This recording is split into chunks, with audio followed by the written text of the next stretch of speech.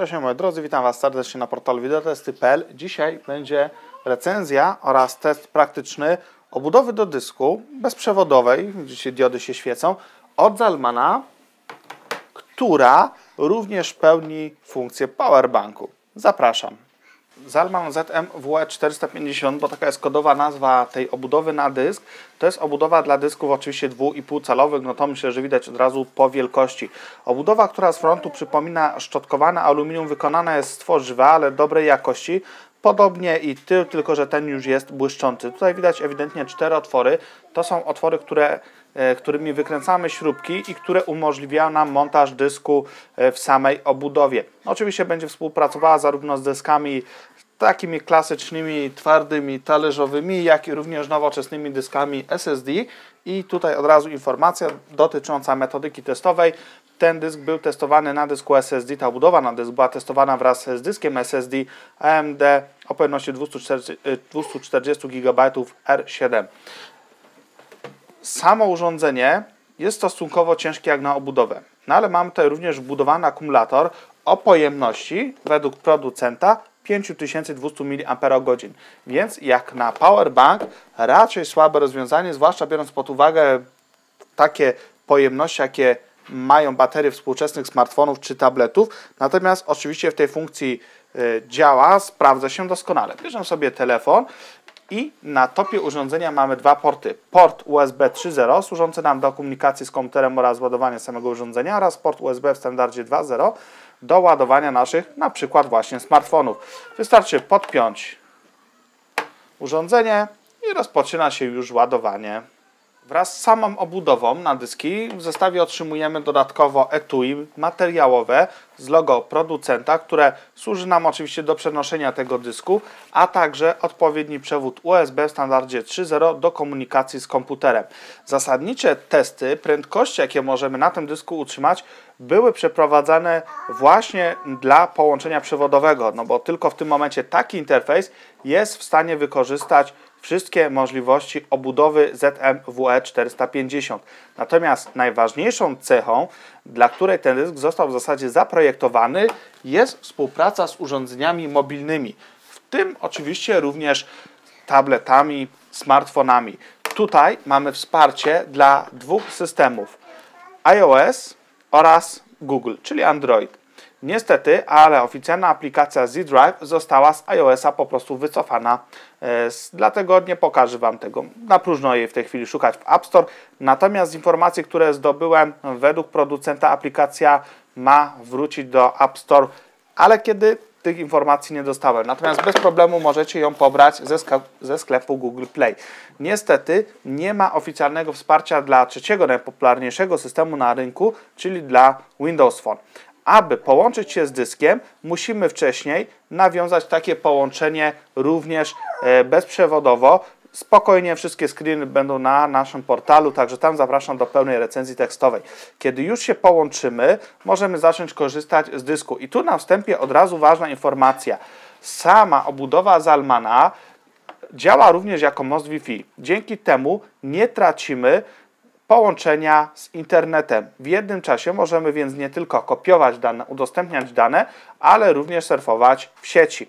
Jeżeli już mamy przygotowane pliki, które chcemy, możemy dzięki aplikacji Z Drive Air po prostu je przeglądać. Interfejs programu jest dosyć toporny, e, natomiast wszystko jest czytelne. I to chyba najważniejsze. Mamy informacje o urządzeniu, mamy również możliwość zarządzania samym urządzeniem. Domyślne hasło i login to admin. Zobaczymy, czy poprawidłowo wpisałem dokładnie.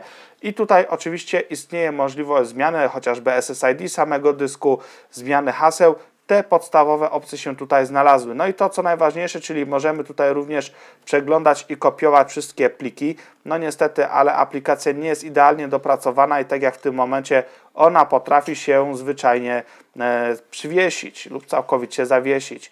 Ok, odpalimy sobie ją jeszcze raz, ponieważ to, co najciekawsze jest właśnie w tej aplikacji.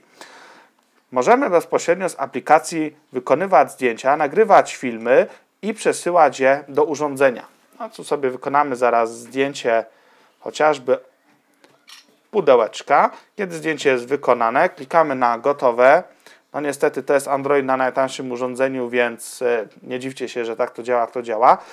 Upload mamy zakończony, dostajemy stosowną informację i wchodząc sobie w zdjęcia mamy dostępne to zdjęcie oczywiście do przeglądania. No sobie możecie je od razu bezpośrednio z aplikacji Z Drive otworzyć i przeglądać również te wykonane wcześniej.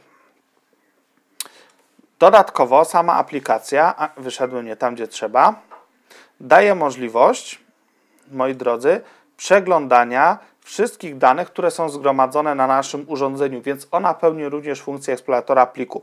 E, no, tutaj generalnie rzecz biorąc są pewne ograniczenia, e, ponieważ no, ta aplikacja nie jest tak w pełni funkcjonalna jak chociażby inne alternatywne oprogramowanie, które czy to z App Store, czy oczywiście z Google Play możemy pobrać, natomiast również mamy możliwość wyświetlania e, zgromadzonych zasobów i oczywiście również otwierania dokumentów. To właśnie z myślą o urządzeniach mobilnych, urządzeniach, które nie mają możliwości rozbudowy własnej pamięci, jak chociażby iPhone, jak chociażby iPady, Zalmat ZMWE 450 został zaprojektowany. Jakie prędkości transferu danych można uzyskać?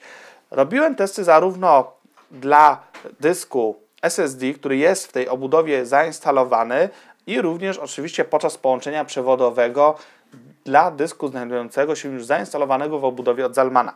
No i tutaj nie należało oczekiwać prędkości nawet podobnych, a zdecydowanie niższych i to potwierdzają wyniki. Natomiast prędkości odczytu powyżej 200 MB na sekundę i to w takich programach jak chociażby ASSD, który jest programem wymagającym, a zapisy powyżej 100 MB na sekundę robią naprawdę dobre wrażenie.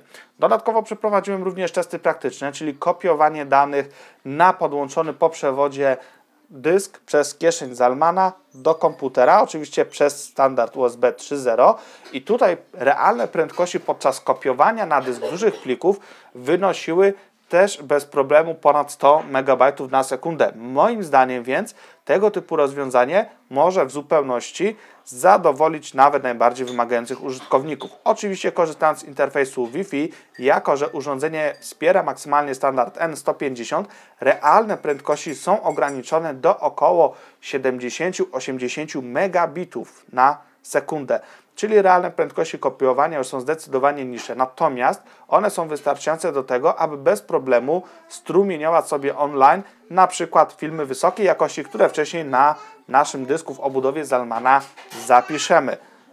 Poza wcześniej wspomnianymi portami USB mamy również na boku urządzenia przycisk Power umożliwiający nam włączenie samego dysku. Na froncie cztery diody, które sygnalizują nam pracę oraz ładowanie urządzenia, a także stan naładowania samej baterii.